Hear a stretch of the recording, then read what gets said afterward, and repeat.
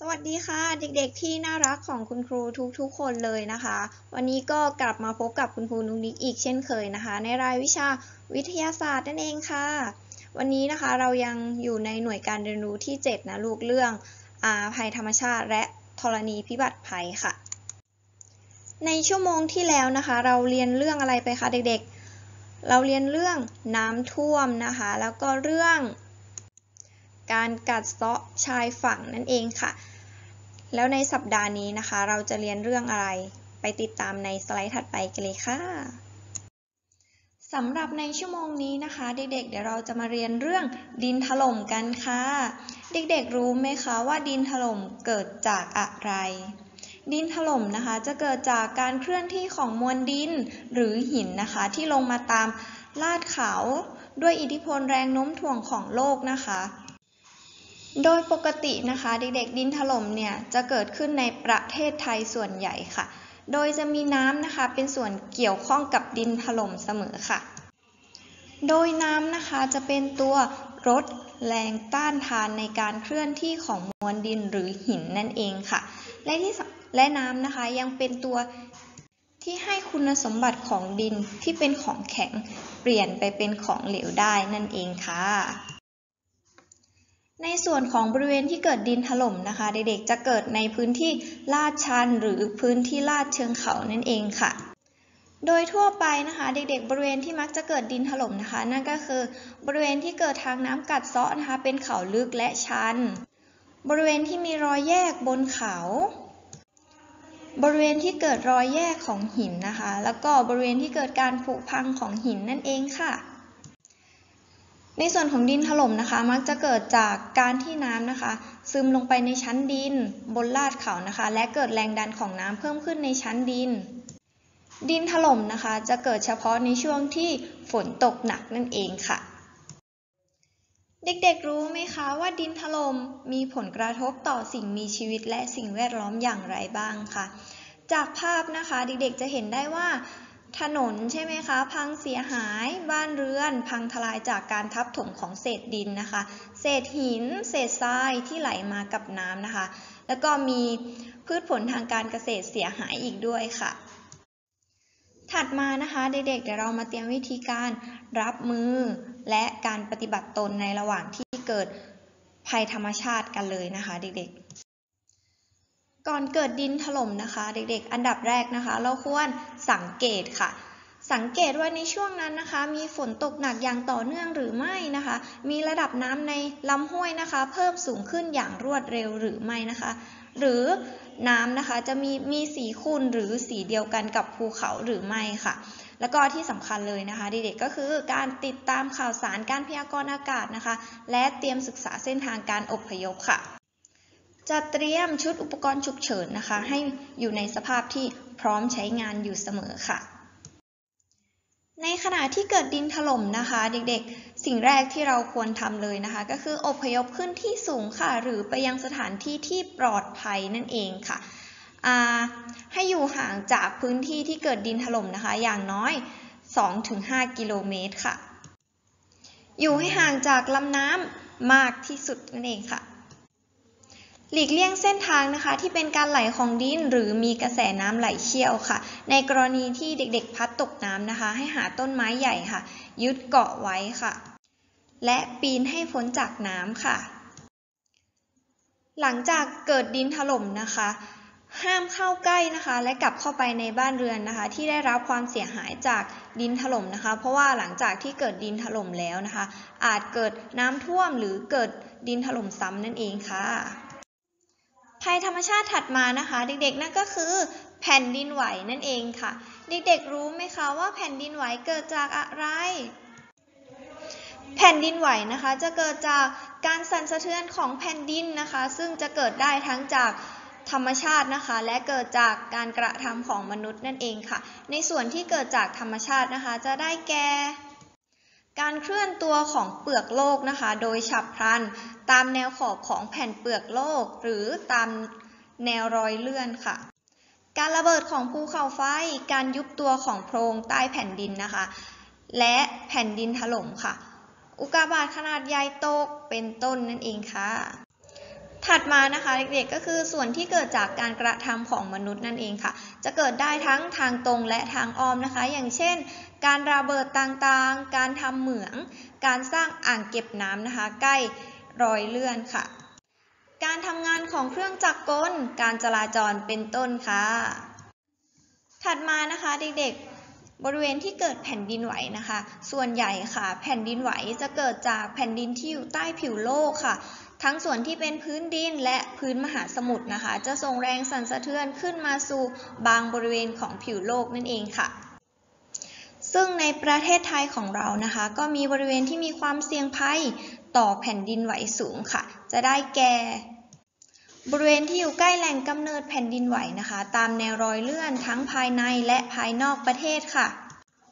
ซึ่งส่วนใหญ่จะอยู่บริเวณภาคเหนือและภาคตะวันตกค่ะ หรือจะอยู่ในบริเวณที่เคยมีประวัติ หรือมีสถิติแผ่นดินไหวในอดีตนะคะ จะมีความเสียหายเกิดขึ้นค่ะ จากนั้นนะคะจะเว้นช่วงการเกิดแผ่นดินไหวเป็นระยะเวลานานๆค่ะ บริเวณนั้นนะคะจะมีโอกาสเกิดแผ่นดินไหวค่ะ ที่มีขนาดใกล้เคียงกับสถิสถิติเดิมได้อีกค่ะ และบริเวณที่เป็นดินอ่อนนะคะ ซึ่งจะสามารถขยายการสั่นสะเทือนได้ดีค่ะ อย่างเช่น บริเวณที่มีดินเหนียวนะคะ อยู่ใต้พื้นดินเป็นชั้นหนา เช่น บริเวณที่ลุ่ม หรือบริเวณที่อยู่ใกล้ปากแม่น้ำเป็นต้นค่ะ ถัดมานะคะ เด็กๆ เดี๋ยวเรามาดู แผ่นดินไหวนะคะว่าแผ่นดินไหวจะส่งผลกระทบต่อสิ่งมีชีวิตและสิ่งแวดล้อมอย่างไรบ้างคะแผ่นดินไหวนะคะ จะเกิดขึ้นได้ทั้งทางตรงและทางอ้อมนะคะ อย่างเช่น พื้นแผ่นดินแยกภูเขาไฟระเบิด อาคารสิ่งก่อสร้างพังทลายค่ะ เนื่องจากแรงสั่นไหว ไฟไหม้การรั่ว แผ่นดินถล่มเส้นทางคมนาคมเสียหายเกิดโรคระบาดปัญหาด้านสุขภาพของผู้ประสบภัยนะคะ ความสูญเสียในชีวิตและทรัพย์สินเกิดความสูญเสียทางด้านเศรษฐกิจอย่างเช่น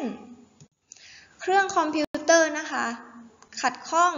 การคมนาคมทางบกทางอากาศชะงักนะคะ ประชาชนจะตื่นตระหนก ซึ่งจะมีผลต่อการลงทุนนะคะ และการประกันภัยเป็นต้นค่ะ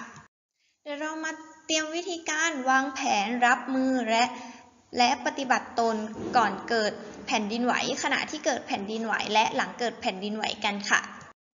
ก่อนที่เกิดแผ่นดินไหวนะคะ อย่างแรกเลยนะคะ เด็กๆก็คือให้เด็กสังเกตค่ะ สังเกตว่าแม่น้ำนะคะมีสีขุ่นหรือไม่ค่ะ สังเกตว่าแหล่งแหล่งน้ำในแม่น้ำนะคะ มีระดับน้ำเปลี่ยนแปลงอย่างผิดปกติหรือไม่นะคะ เตรียมชุดอุปกรณ์ฉุกเฉิน ให้อยู่ในที่ที่หยิบง่าย มีสภาพ พร้อมใช้งานค่ะ ศึกษาเส้นทางการอพยพ ศึกษาวิธีการติดต่อและจุดนัดพบหลังเกิดเหตุนะคะ ในขณะที่เกิดแผ่นดินไหวนะคะ ให้ไปอยู่ในที่โล่งแจ้งนะคะ ห่างจากต้นไม้ เสาไฟ ป้ายนะคะ ให้อยู่อย่างสงบนะคะ มีสติคิดหาหนทางที่ปลอดภัยนะคะ ถ้าอยู่ภายในอาคารนะคะให้หมอบค่ะ หรือหาที่กำบังใต้โต๊ะที่แข็งแรงนะคะ เพื่อป้องกันสิ่งของหล่นใส่ค่ะ อย่างเช่น บริเวณใต้โต๊ะ ใต้เตียง หลีกเลี่ยงให้ห่างจากหน้าต่างนะคะ หากอยู่ในนอกอาคารให้อยู่ในที่โล่งให้ห่างจากสิ่งห้อยแขวนต่างๆนะคะ ปฏิบัติตามมาตรการป้องกันตนจากภัยแผ่นดินไหวเป็นต้นค่ะ ถัดมานะคะเด็กๆเดี๋ยวเรามาดูนะว่าเราควรปฏิบัติตนอย่างไรนะคะ หลังจากเกิดแผ่นดินไหวค่ะ อันดับแรกนะคะ ให้เราตรวจสอบตัวเองและคนในครอบครัวคนในครอบครัวนะคะ ว่าได้รับบาดเจ็บหรือไม่นะคะ ถ้าได้รับบาดเจ็บนะคะ ให้ทำการประถมพยาบาลเบื้องต้นก่อนนั่นเองค่ะ เราควรรีบออกจากอาคารที่เสียหายทันทีนะคะ เพราะหากเกิดแผ่นดินไหวตามมาอาคารอาจพังทลายลงได้ค่ะภัยธรรมชาติถัดมานะคะ เด็กๆนั่นก็คือสึนามินั่นเองค่ะ เด็กๆ รู้ไหมคะว่าสึนามิเกิดจากอะไร สึนามินะคะ จะเกิดจากแผ่นดินไหวใต้พื้นมหาสมุทรค่ะ แต่จะไม่ได้เกิดทุกครั้งนะคะ อาจเกิดได้จากภูเขาไฟระเบิดใต้ท้องทะเล การตกของอุกาบาตลงในทะเลค่ะ ซึ่งจะมีหลายสาเหตุหลายประการด้วยกันนะคะ อย่างเช่น การเคลื่อนตัวของแผ่นเปลือกโลกตามแนวรอยเลื่อนนะคะ ที่ก่อให้เกิดแผ่นดินไหวใต้ท้องทะเลได้ค่ะ การระเบิดอย่างรุนแรงของภูเขาไฟใต้ทะเลนะคะดินถล่มที่พื้นที่ใต้ท้องทะเล การทดลองระเบิดนิวเคลียร์ใต้ท้องทะเลเป็นต้นค่ะสึนามินะคะเป็นคลื่นยักษ์ในทะเลจะเคลื่อนที่ผ่านทะเลหรือมหาสมุทรด้วยความเร็วสูงค่ะ คลื่นสึนามินะคะเป็นคลื่นขนาดใหญ่จุดสังเกตของคลื่นสึนามินะคะก็คือ เมื่อท้องทะเลนะคะ เกิดแผ่นดินไหวขึ้น ก็จะมีคลื่นแบบประปรายนั่นเองค่ะ จุดสังเกตจุดที่ 2 นะคะ เด็กๆนั่นก็คือ เมื่อเกิดแผ่นดินไหวใช่ไหมคะแผ่นแผ่นดินจะเกิดการแยกตัวนะคะ น้ำในทะเลจะเกิดการลดตัวลงอย่างรวดเร็วค่ะ สังเกตได้จากตรงนี้นะคะ เด็กๆเด็กๆจะเห็นว่าน้ำทะเลนะคะ จะลดลงอย่างรวดเร็ว พอน้ำนะคะ ลดลงอย่างรวดเร็วเนาะก็จะเกิดคลื่นขนาดใหญ่นะคะ ซัดเข้าฝั่งค่ะ เราจึงเรียกว่าการเกิดสึนามินั่นเองค่ะ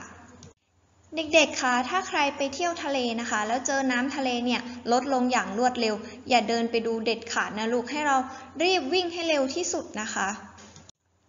หรือบางสถานที่นะคะก็จะมีสัญญาณเตือนภัยสึนามิค่ะ ส่วนบริเวณที่เกิดสึนามินะคะ นั่นก็คือทะเลหรือมหาสมุทรค่ะ หรือนะคะส่วนไหนที่อยู่ใกล้ชายฝั่งนะคะ จะมีคลื่นทะเลซัดเข้ามานะคะ ก็มีโอกาสเกิดสึนามิทั้งหมดเลยค่ะ เด็กๆรู้ไหมคะว่าสึนามิเนี่ยมีผลกระทบต่อสิ่งมีชีวิตและสิ่งแวดล้อมอย่างไรบ้างคะะจากภาพนะคะเด็กๆจะเห็นได้ว่า บ้านเรือนพังเสียหายใช่ไหมคะ รถ พัง ประชาชนนะคะ ได้รับบาดเจ็บและเสียชีวิตเป็นจำนวนมากด้วยค่ะ นักเรียนจะมีวิธีการรับมือและปฏิบัติตนอย่างไรคะ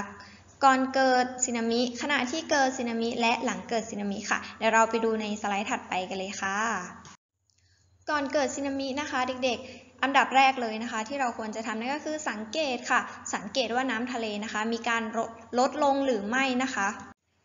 ถัดมาค่ะ ฟังข่าวสถานการณ์นะคะ แผ่นดินเคลื่อนไหวอย่างต่อเนื่องค่ะ แล้วก็ให้เด็กๆนะคะ ศึกษาแผนอพยพขึ้นที่สูงค่ะ ในขณะที่เกิดสึนามินะคะ ให้เด็กๆอยู่ในบริเวณที่ปลอดภัยสักระยะค่ะ และให้อยู่ห่างจากชายฝั่งนะคะ ประมาณ 2-5 กิโลเมตรนั่นเองค่ะ ห้ามลงไปเล่นบริเวณชายหาดเด็ดขาดนะลูก หรือนะคะให้รอจนมีประกาศยกเลิกนั่นเองค่ะ หลังจากเกิดสึนามินะคะสิ่งที่เราควรทำนั่นก็คือสำรวจผู้ที่ได้รับบาดเจ็บนะคะ ทั้งตัวเราเองและคนในครอบครัวนะลูก หรือถ้ามีใครได้รับบาดเจ็บนะคะ เราควรปฐมพยาบาลเบื้องต้นค่ะทำความสะอาดพื้นที่ซ่อมแซมบ้านเรือนนะคะ ในส่วนที่พังเสียหายไปค่ะสำหรับในเรื่องของภัยธรรมชาตินะคะ ก็จบลงไปแล้วค่ะ คุณครูก็อยากให้เด็กๆนะคะ กลับไปทบทวนเนื้อหาของชั่วโมงนี้แล้วก็ชั่วโมงที่แล้วนะคะ แล้วเรากลับมาพบกันในชั่วโมงหน้านะคะ เด็กๆสำหรับวันนี้บ๊ายบายค่ะ